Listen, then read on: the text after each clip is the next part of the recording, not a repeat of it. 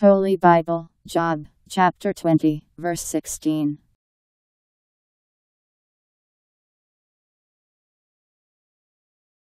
He takes the poison of snakes into his mouth, the tongue of the snake is the cause of his death.